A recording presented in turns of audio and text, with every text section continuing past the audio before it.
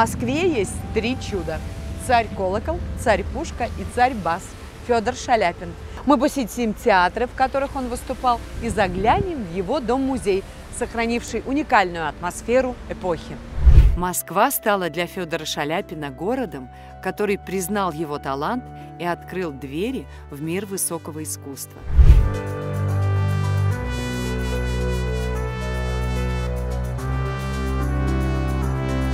Когда он познакомился с Савой Ивановичем Мамонтовым, подписал новый контракт с русской частной оперой, вся жизнь его круто действительно поменялась. Именно Мамонтов с его любовью к искусству дал Шаляпину ту свободу для творческого самовыражения, о которой он мечтал.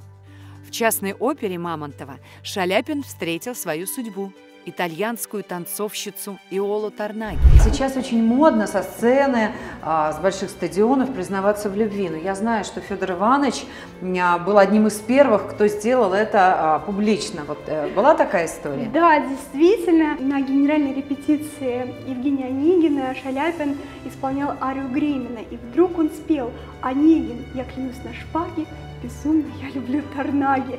И он сначала подумал, что это какое-то слово, которое она еще не выучила по-русски, mm-hmm. да. А оказалось, что Шаляпин признался ей в любви таким хитрым способом.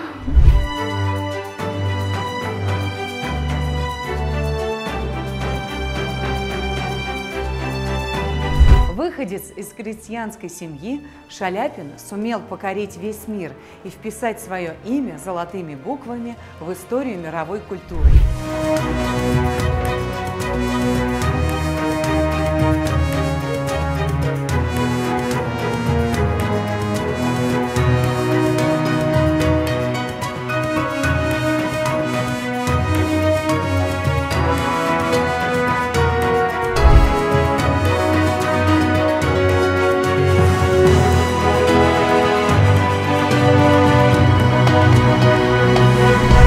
Федор Иванович преклонялся перед талантом Рахманинова. Он отличный артист, великолепный музыкант и ученик Чайковского. Он познакомил меня с элементарными правилами музыки и даже немного с гармонией. Конечно, они были друзья. Конечно. Они были близкие друзья. Опера Олега который Рахманинов написал как выпускник Московской консерватории. Первый исполнителем был на сцене Большого театра Федор Иванович Шаляпин. А общем это было на него написано. Главной мечтой артиста была работа в Большом театре.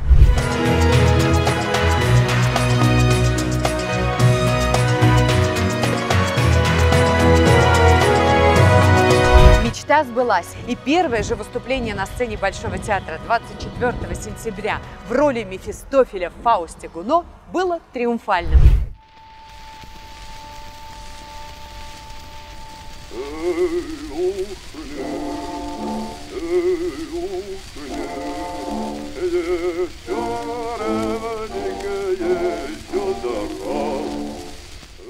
Фигура Шаляпина уникальна. Для своего времени он стал символом успеха и мирового признания. Его смело можно назвать человеком бренда. Витрины и прилавки украшали шаляпинские конфеты, папиросы, шоколад, гребенки, одеколоны, а на выставке Российского общества канароводства в качестве экспоната была выставлена даже канарейка Шаляпин. Сегодня мы с вами совершили прогулки по избранным шаляпинским местам. И, конечно, таких мест в нашей столице гораздо больше, чем вмещает одна программа. Заходите на сайт музыкальное-путешествие.рф и выбирайте на интерактивной карте маршруты для путешествий по местам музыкальной силы и славы нашей красавицы Москвы. Thank you